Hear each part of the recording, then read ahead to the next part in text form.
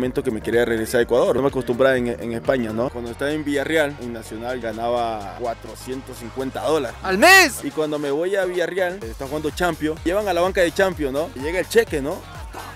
Mano, yo no podía creerlo. Yo me dio un compañero a Robalena, "Yo, me- me- ayúdame aquí. ¿En serio? loco?" Me dice, sí. Ah, yo no lo podía creer. ¿Cuánto es el cheque que te daba esa? Yo sé que tú, en una borrachera y con tus panas, han dicho, oye, compremos el equipo de la ciudad y hagámosle campeón de la Libertadores. Pero cuando ya te pones a ver cómo está el due diligence, las deudas y todo eso, dices, oye, chuta, está complicado. Y luego dices, ponga un equipo de fútbol y dices, no, oye, esto es un despelote.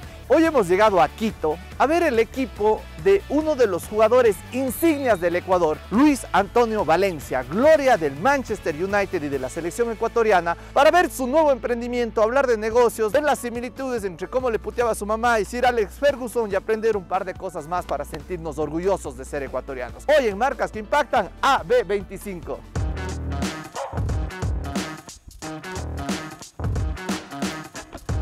Bueno, y hemos llegado a Buenbo. Estamos con el gran Toño Valencia, en donde su nuevo emprendimiento es, me puse un pequeño equipo de fútbol. ¿Cuál es el propósito? ¿Para qué te pones un equipo de fútbol? Ayuda a los chicos, ¿no? Tú sabes cómo está la juventud ahora mismo en Ecuador. Tenemos un equipo aquí de, de ascenso para subir a segunda categoría. ¿Cómo te está yendo el campeonato ahora? Bien, gracias a Dios. Estamos en la liguilla final. Eh, tenemos tres puntos, falta tres finales más. Ojalá que podamos subir este año. La lección más importante que te haya dado tu papi en la vida. Que sea humilde, que sea trabajador, todo que haga le ponga empeño y, y concentración. Ñeque. Huevos dirían algunos, pero ñeque suena más política. Al haber entrenado con Sir Alex Ferguson, ¿qué es lo que más te enseñó ese mijín? Hay que estar concentrado en los partidos, portarse bien afuera también de cancha. Andar de malcriado. La principal lección que te dio tu mami en la vida. Mi casa era de tabla, teníamos en la sala era una tabla grande y mi mamá me decía, por esa tabla te vas, ¿no? Cuidado te vas a desviar. Así en la vida, cuidado te vas a desviar por, por cualquier lado, ¿no? Consejo que a uno le llegaba en el alma. Mi mamá era muy fuerte, muy dura,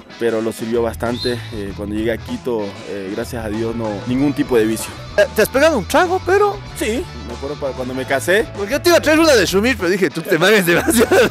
No vaya a ser que empate. cuando hay la oportunidad, sí. Siempre hay una cargosa. Aquí la colorada llega y dice, no, que ni sé qué, que hay que hacer un reto. ¿Qué reto propusiste? Que le tapes un penal a Antonio. Eh, eh, Tengo miedo que me rompa la nariz en el penal, pero creo que va a ser más fácil de cascaritas primero. Vamos a ver cómo va eso.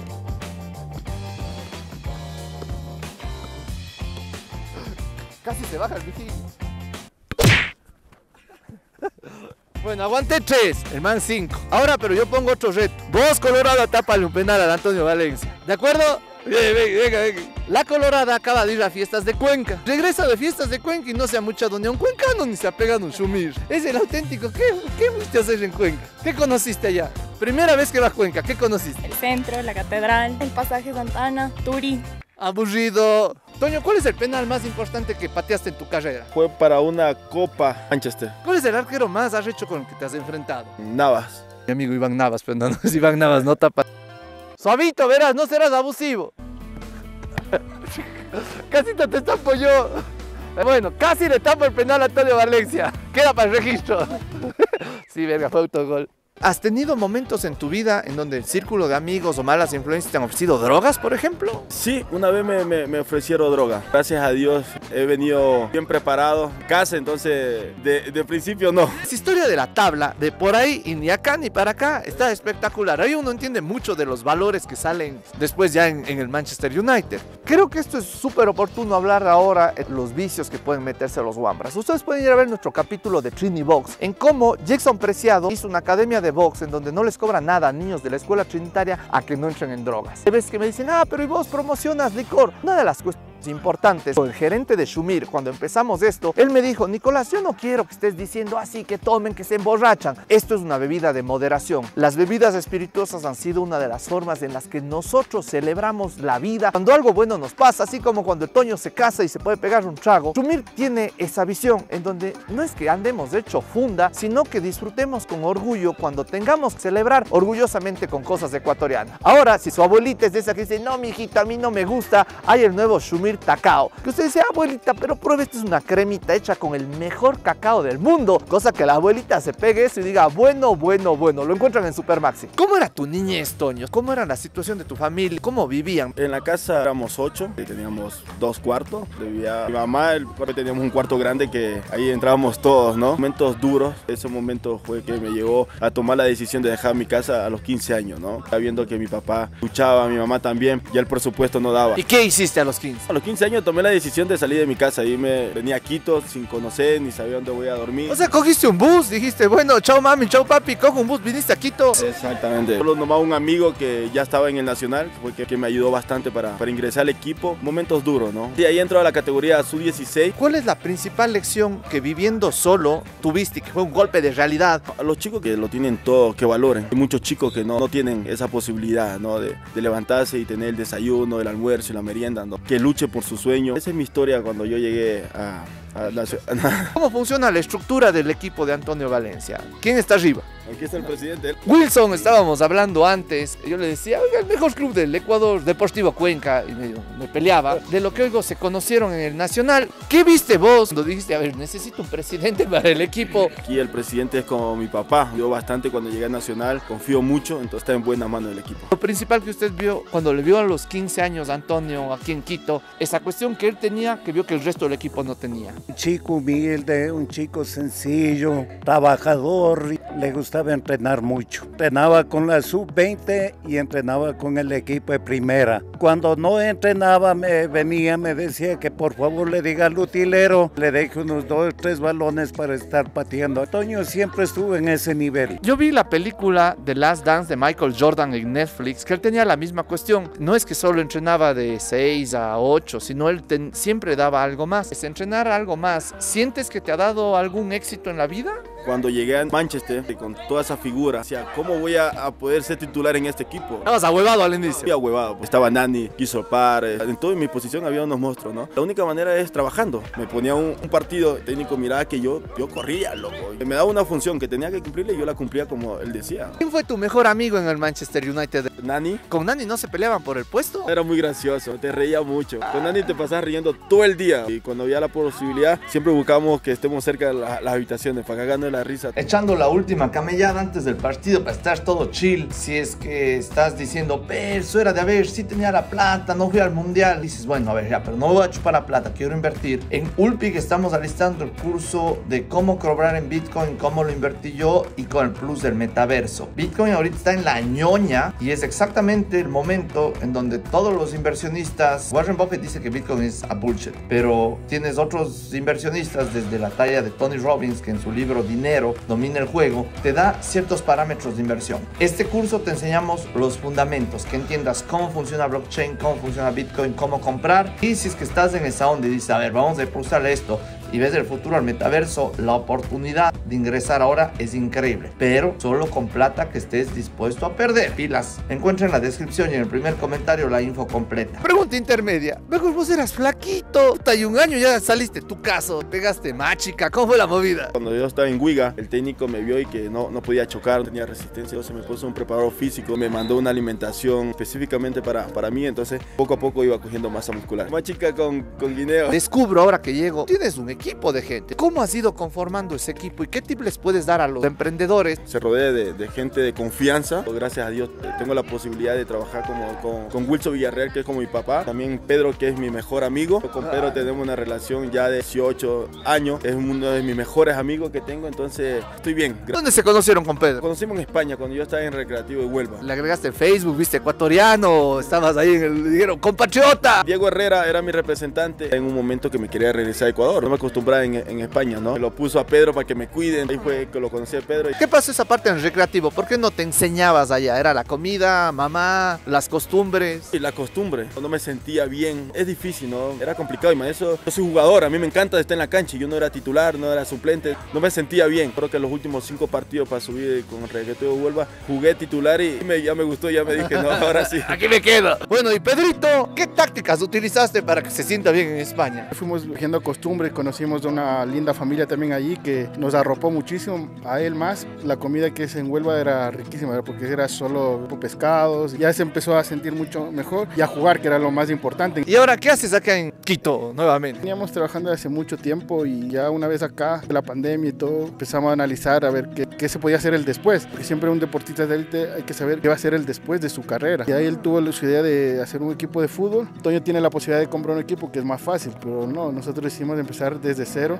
Pueden ir a ver aquí nuestro marcas que impactan del Independiente del Valle. Le había preguntado a la gente del Independiente, oiga, ¿por qué no compro el Deportivo Cuenca? Toño, ¿por qué en vez de hacer un equipo no compraste el Deportivo Cuenca? O tú siendo hincha del Nacional, ¿por qué no dijiste, oye, vamos y saquémosle de nuevo al Nacional de donde está? ¿Quién no quisiera comprar Nacional? Pero la deuda es grande, como un equipo como AB25 no lo costó nada, cero deuda. Estamos trabajando tranquilo, que es lo más lindo, trabajar sabiendo que no le estás debiendo a nadie. Toño Valencia nos rompió la cabeza a los ecuatorianos como un ejemplo de que llegó al Manchester United y dijimos, oye, sí se puede. Bueno, si bien yo no puedo ya, bueno, capaz sí puedo, pero ya tengo 32, ya estoy viejo para hacerme futbolista, pero Moisés Caicedo, Gonzalo Plata, gracias a él es que están soñando tan lejos. Cuando vemos las empresas fintech en el mundo y dices, no, es que eso solo hacen en Silicon Valley, o hay el Nubank que sale de Brasil porque son mega mercados de Sao Paulo, de huevas. Pero ya tenemos nosotros un ejemplo que es Payphone, que es una fintech ecuatoriana que está poniendo paso al resto para decir, oye, estás en Cuenca, dale, si puedes, lánzate al mundo. Y creo que ese es el gran mensaje que una empresa ecuatoriana que hace bien las cosas tiene como responsabilidad ser esa cabeza de lanza para que el resto que venimos como jóvenes atrás, digamos, dale carajo que sí se puede. Tengo un amigo, Moisés Granizo, que también se puso su emprendimiento, un equipo de fútbol que es el Deportivo Meridiano. Pero él me contaba, empezar es muy duro porque es básicamente quemar dinero, porque no tienes muchos ingresos. La televisión, que suele ser el principal, ¿qué recomendación le das a alguien que necesite ese financiamiento para empezar su equipo de fútbol? ¿Cómo moverse? Quiero agradecerle a la- las empresas privadas que lo han ayudado como Coabe, Pague, Marato, que lo han ayudado un montón. Seguir con el equipo, porque meter al bolsillo y, y dar es, es complicado. Pero bueno, lo estamos haciendo de corazón, lo hemos conseguido. Gracias a Dios lo hemos conseguido. el hecho de ser Antonio Valencia. Vos le llamas al gerente de Hyundai o de Marathon, va a decir, ah, sí, venga, que es una cuestión que tu networking te ha facilitado. Dentro del asunto de las empresas, ¿qué es algo que tú les puedes dar de recomendación cuando vayas a presentar un plan? Por ejemplo, dices, oiga, si quiere estar aquí cuesta 20 mil, 50 mil dólares. No todos te abren la- las puertas. Hemos tenido marcas que sí nos han abierto la puerta. Agradecido totalmente.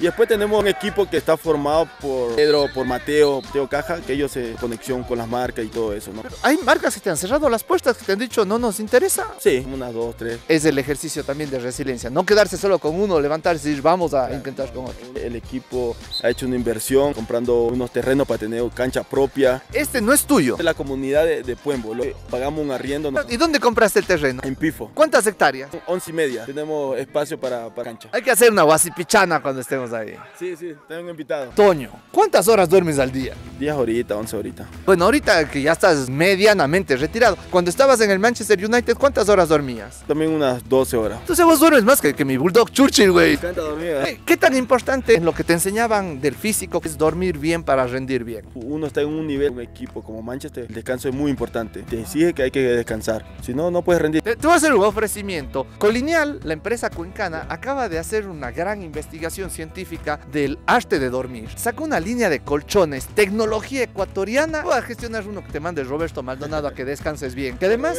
No te olvides. Sí, y que además la línea de colchones de ellos hay cosas de los ácaros, tiene unas telas que eliminan hasta los ácaros que te ayuda a que duermas bien, porque un emprendedor un empresario o un futbolista que no duerme bien, vale paloma. Pues creo que es una lección importante para todos. Bueno, uno cree que venir a hacer un video de YouTube llega uno solo habla huevadas, hay que hacer una investigación previa. Y dentro de mis investigaciones estaba cuando Antonio fue del Villarreal al Manchester fue un pase de 25 millones de dólares, que en tu mejor época ganaba 180 mil dólares a la semana. Un niño que nació en una casa de tablas, Lago Agrio, que a los 15 años tuvo que salir de su casa para ayudarse y salir adelante, pasar a ganar 180 mil dólares a la semana, es una acción en la que normalmente te vuelves loco. ¿Y qué empiezas a hacer? Huevadas. Y compras el Lamborghini, supermodelo de novia y en las farras, pierdes la calidad. Pero tú a la larga te retiraste de Manchester estando en el pico físicamente de tu carrera. ¿Qué pasó para que no te vuelvas loco? Cuando estaba en Villarreal, en Nacional ganaba 450 dólares. ¡Al mes! Y cuando me voy a Villarreal, eh, está jugando Champions, llevan a la banca de Champions, ¿no? Y llega el cheque, ¿no?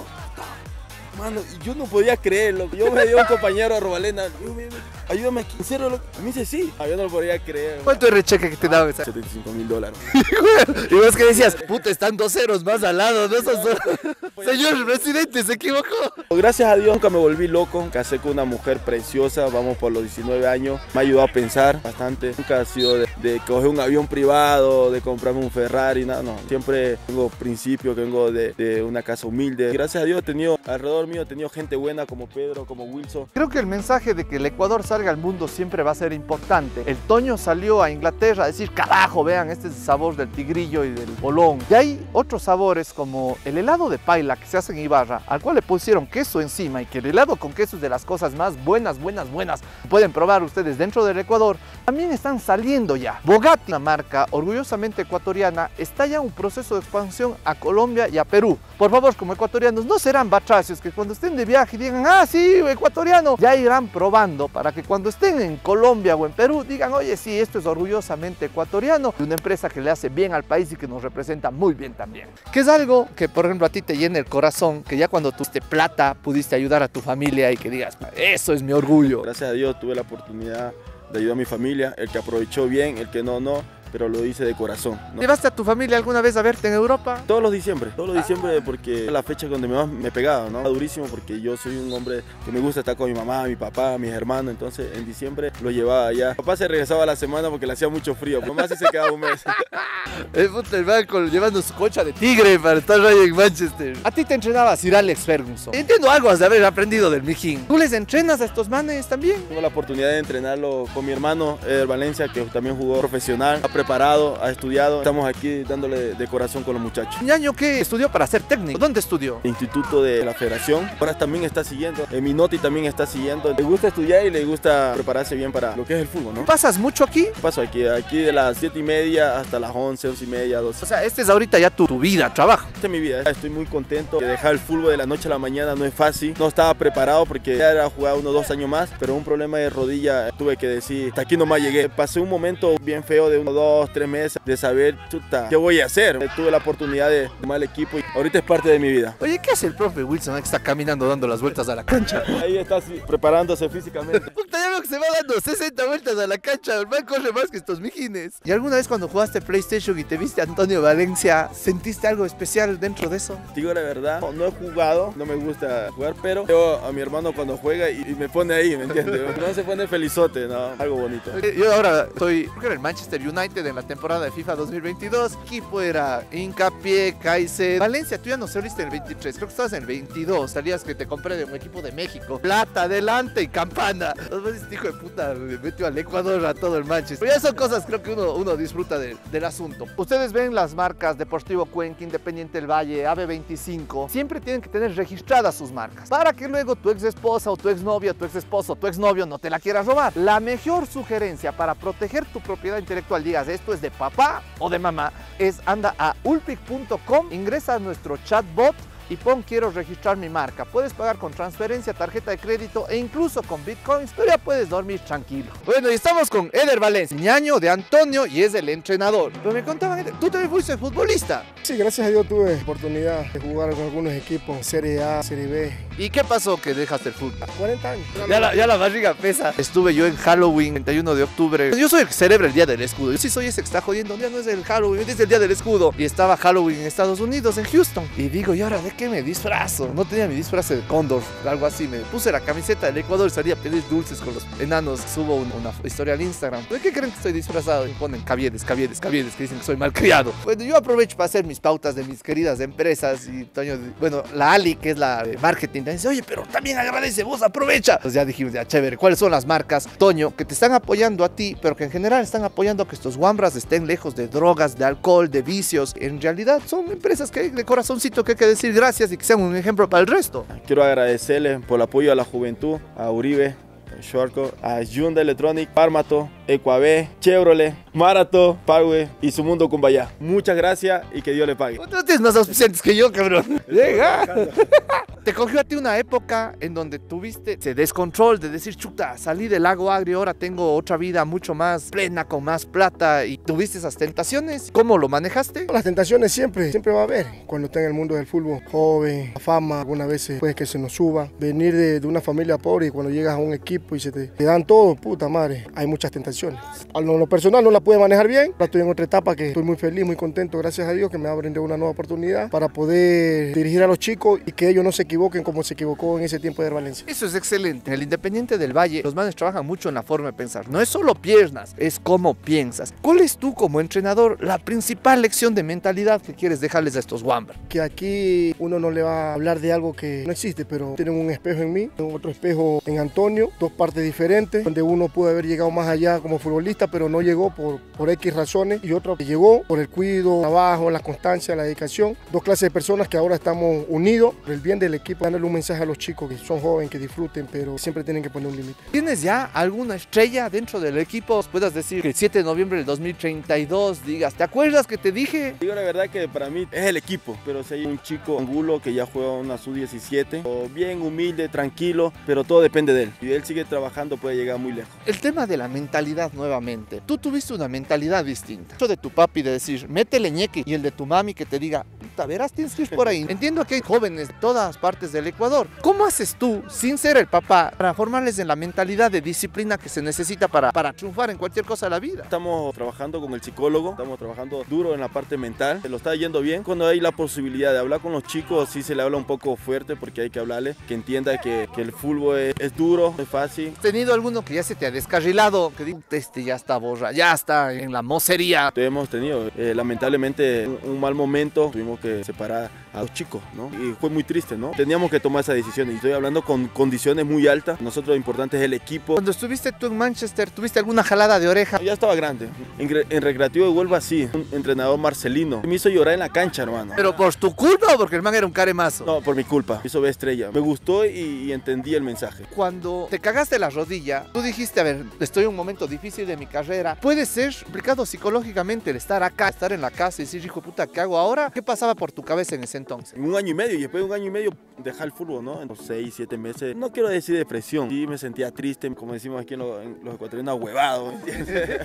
y en ese punto, o sea, estabas en ese bajón. ¿Cuándo fue que dijiste, chucha, hasta aquí llega esto? Fue con mi esposa, ¿no? Estábamos pasando por una cancha y mi mujer me dice, oye, ¿por qué no comienzas a entrenar si a ti te gusta, te apasiona esto? Era como que, bueno, sí, vamos a comenzar con pocos implementos, con cinco o seis jugadores y después íbamos llamando hasta cuando decidimos totalmente hacer el equipo. ¿Cuántos jugadores están ahorita en, el, en AB25? Inscrito tenemos 30 jugadores. Pregunta final, Toño. ¿Cuál es ese ofrecimiento que puedes hacerle a los ecuatorianos de hasta dónde va a llegar AB25 y que incluso nosotros como marcas que impactan, me llames y me digas, oye, Monflaco, ¿te acuerdas que te dije eso? Sábado es el cumplimiento de lo que te habíamos ofrecido. Queremos ir poco a poco. Hemos concentrado totalmente, ascender a segunda categoría. Queremos llegar lo más lejos. Queremos trabajar con tranquilidad. No queremos llegar con deuda ni, ni mentirle a nadie. ¿no? Queremos hacer un trabajo muy serio. Creo que Antonio simboliza el sueño ecuatoriano. No importa desde dónde vengas, sino a dónde quieres llegar, en donde él ha tenido muchas condiciones externas fuertes en su vida, pero sus condiciones internas y que son su papá, sé positivo y su mamá, cojudo, no te saldrás de esta tabla, siempre recto, hicieron que llegue a ser el jugador ecuatoriano más valioso hasta el día de hoy. Y a partir de él, Gonzalo Plata, Moisés Caicedo, Piero Incapié tuvieron una inspiración de decir, oye, él pudo llegar al Manchester United, yo también puedo. La invitación es a que ustedes en sus industrias sean un Antonio Valencia, sean esa prueba de decir, carajo, en Ecuador sí se puede y que lleguemos a materializar que, que nacimos en un Ecuador pobre y corrupto no es nuestra culpa. Pero si es que morimos y nuestro Ecuador sigue siendo pobre y corrupto, eso sí va a ser nuestra culpa. Que si quieres ver algo más de fútbol, aquí tenemos Barcelona, Deportivo Cuenca o Independiente para que te sigas sintiendo orgulloso de ser ecuatoriano.